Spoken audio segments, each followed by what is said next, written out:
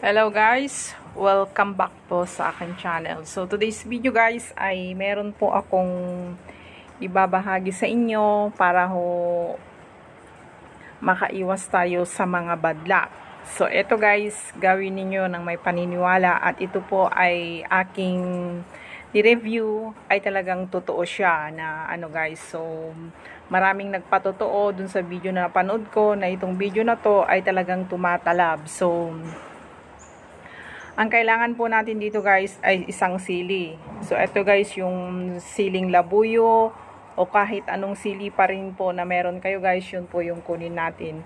And then isang basong tubig. So ito guys take note po ang ano nito guys ang mabisang paggamitan nito guys kung meron kayong mga interview job interview o kaya yung mga ina-applyan ninyo, mga trabaho, yung nag-apply kayo sa abroad o kaya meron kayong mga loan na ina-applyan o kaya meron kayong mga gustong mga transaksyon. So, yun guys. So, pero ito din ay talagang mabisang tumalab din sa mga may exam. Kasi guys, ito ay magre-remove ng ng bad luck, ng blockade. So, ito ay gagawin mo bago ka pumunta. Pwede mo na tong gawin ngayon o kaya kung pupunta ka bukas, kung may exam ka bukas, gawin mo na ngayon. Kung ayaw mo naman, kung ayaw mo namang magmadalian ng ayaw mong natataranta ka tomorrow, pwede mo na siyang gawin ngayon. Kung gusto mo naman gawin on the day, spot na may exam ka o may interview ka, bago ka lumabas ng bahay, ay pwede mo siyang gawin. So, take note ito guys ha wag lamang ho kayong yung madalian, hindi lamang seconds. Kailangan din naman po ninyong bigyan ng time yung pag ano ninyo to guys para tumalab ho talaga siya. So, ang kailangan ho ninyo dito isang basong tubig at isang sili. Dito sa sili guys, so, kung may siling labuyo kayo, napakabuti po yun guys.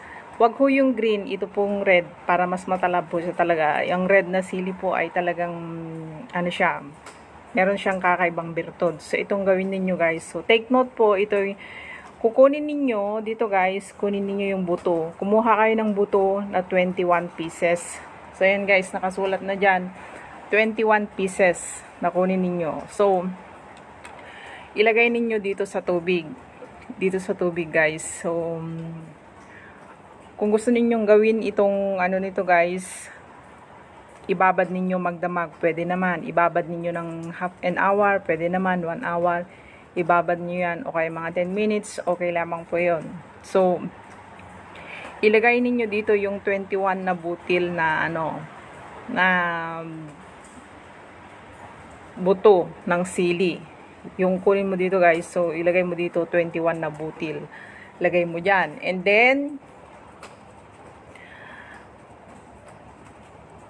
Pagkatapos nun guys, ipaikot mo siya sa yung ulo ng 7 times. 7 times.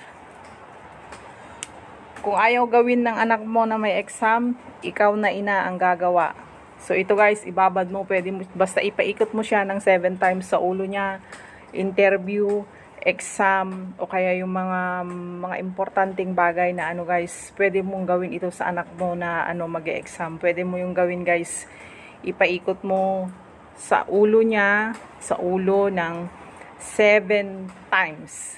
Ayan guys. And then, pagkatapos na po ninyong nagawa yun guys, 7 times, ito, itong tira, at saka lahat ito, itapon ninyo sa toilet bowl, sa inodoro. Talagang i-flush ninyo siya dun. Ayan guys, i-remove ninyo, aalisin i-remove ninyo yung blockage and then i-flush ninyo doon sa toilet para, para yung bad luck, yung lahat maalis bago kayo umalis ng bahay.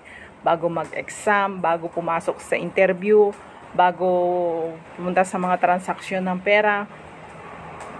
Gawin ninyo ito guys ng may paniniwala. Wala hong masama pag kayo ay maniwala, makakatulong po sa inyo. Lalo na ho sa may mga anak, mga ina, na yung mga eh, importanteng exam, yung mga ganyan, yung ano guys, so ito ho'y mabisa.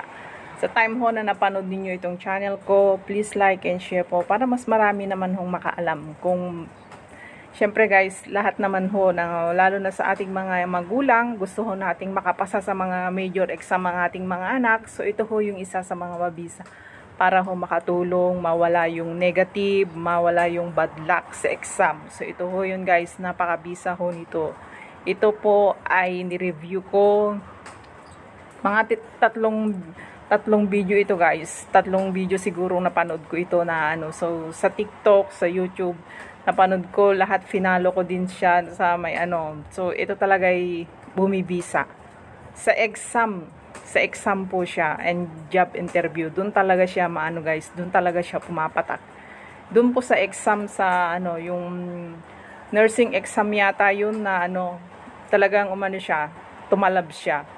Guys, so ito lamang po at magandang hapon po sa inyo lahat. Maulan ho na hapon sa inyong lahat. Umuulan po dito guys. So, ang ganda ng view dito sa labas.